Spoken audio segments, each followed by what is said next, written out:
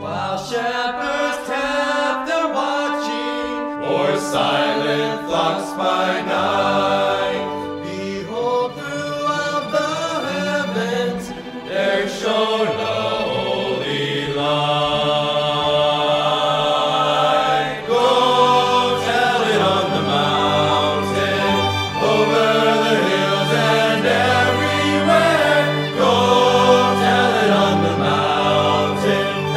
Jesus Christ is